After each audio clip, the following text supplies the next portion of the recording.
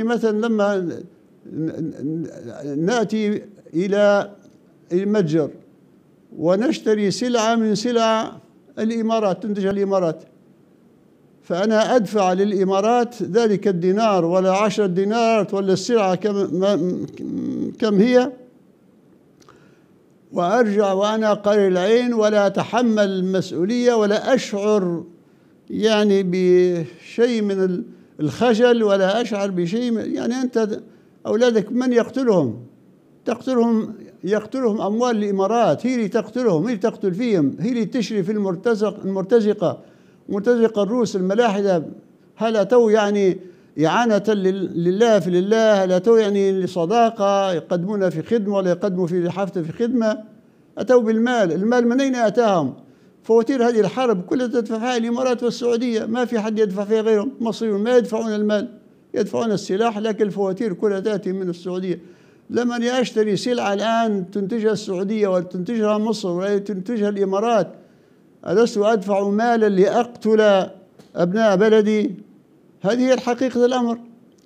لماذا لا يفتحون الناس أعينهم ويفعلون ذلك؟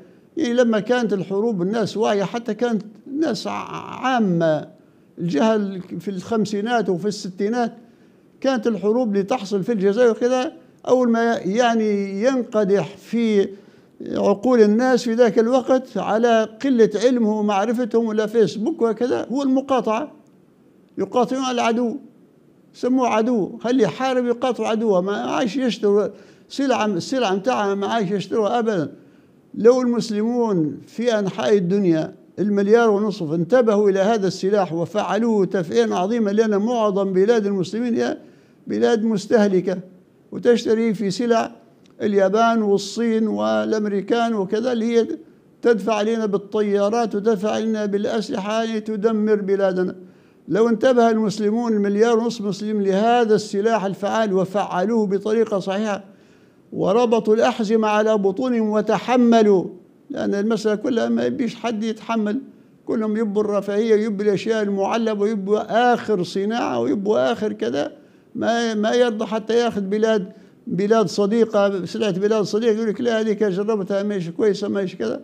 ما يشتروش إلا يعني آه، سلع بلاد العدو ليدعموه بالمال.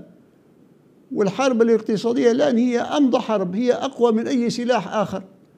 لو انتبهوا لهذا السلاح في بلاد المسلمين والله جاءتهم هذه الدول الصاغرة كل الدول الكبرى تأتيهم صاغرة راكعة تستجدي ماذا يريد المسلمون.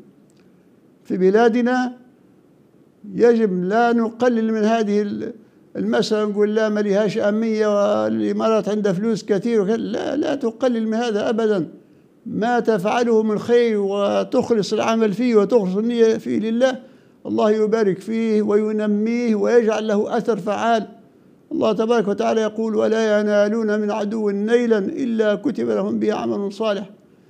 فعلينا أن ننتبه لأنفسنا ونستعمل يعني ما نستطيع لدفع الضر عنا ودفع ولا نتهاون لأن التهاون هذا كما قلت هو إسهام في قتل أولادكم.